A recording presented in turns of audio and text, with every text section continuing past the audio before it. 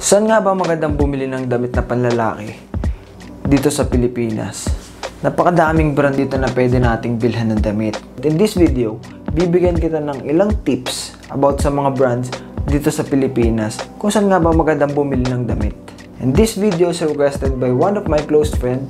Sabi niya kasi gawan ko daw ng video kung saan ba magandang bumili ng damit dito sa Pilipinas. But before we get straight to the topic, I appreciate guys if you hit the subscribe button at i-turn on mo na din yung notification bell dahil sa channel na to, gumagawa ako ng mga videos about grooming for men, fashions, tutorial, and personal advice.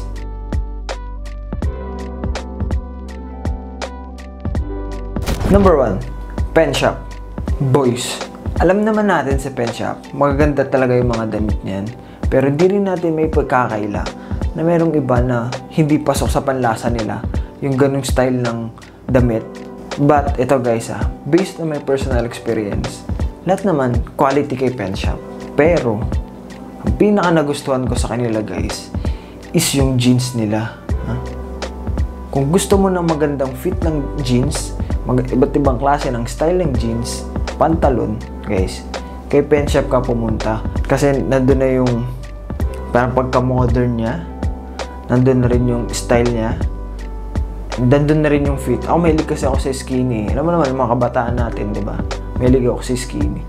Pero kay pen shop kasi guys, nandun yung mga fit na skinny na gusto mo. Though skinny siya guys, pero yung sa bandang part ng alak-alakan mo, hindi siya ganun ka ka awkward o hindi siya ganun kasikip. Parang parang may room for relaxation pa rin yung legs mo kahit skinny siya. Unlike dun sa mga ibang brand ng pantalo na pag naka-skinny guys, pag umupo ka, masikip sa alak-alakan sa tuhod, di ba? Kaya pen shop kasi guys, yung ibang design ng pantalon niya is maganda. Kaya highly recommend pag gusto mo ng mga pantalon na modern and skinny, punta ka kay pen shop. Number 2, bench. Alam niyo naman guys kung saan siya magaling, di ba? Kung saan ang expertise niya, di ba?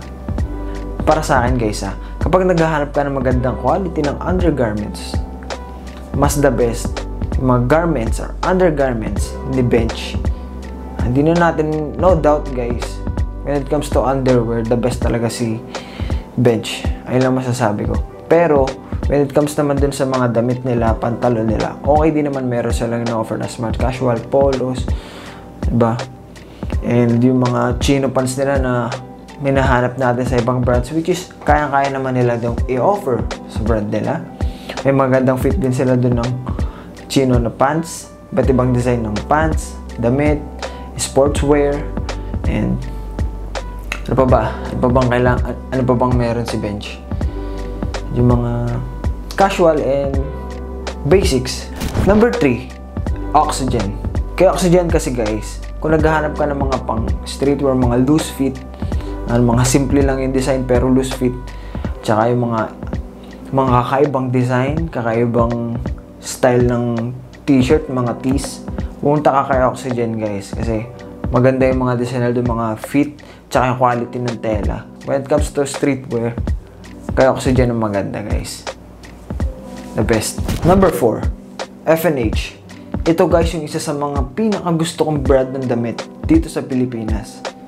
You know guys, kasi alam mo naman, mahilig ako sa plains, sa mga plain na damit, polos, polo shirt, mahilig ako dun sa plain.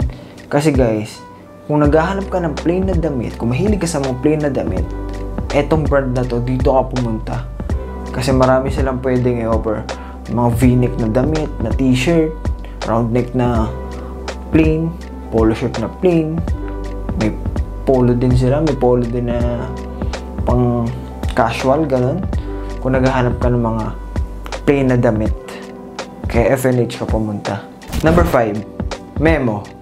Para sa akin guys, kung naghahanap kayo ng mga smart casual or semi-formal na damit o yung pangninong na damit, ha, kay Memo kayo pumunta kasi yung mga damit nila maganda, yung polo nila, yung design nila, simple lang. Yun nga lang guys, medyo may kamahalan siya compared sa other brand na sinabi ko or yung sa mga ibang brand na hindi ko pa nababanggit.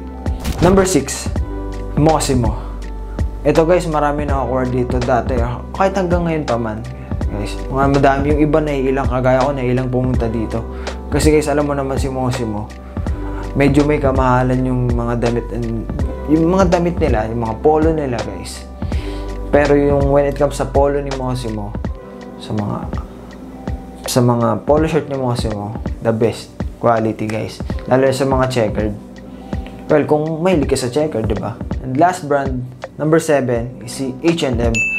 Ito guys, si H&M ha. Natutuwa ako dito kasi pag nag-shopping ka dito, para ka nang naka one-stop shop. Napakaraming pwede niyang i-offer. Like streetwear, formal, basic, plain tees, and semi-formal, blazers, casual, ano pa ba, chinos, pang summer na outfit, guys, mga hoodies, ah.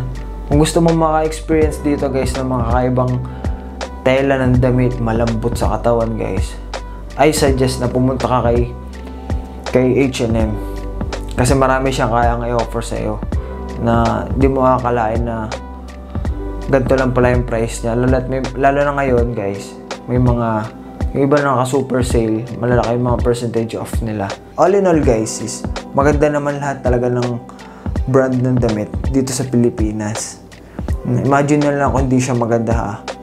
I thought kung mag exist pa siya ngayon, guys. Depende na lang talaga sa preference nyo at saka sa mga requirements nyo or sa mga purpose or sa needs nyo.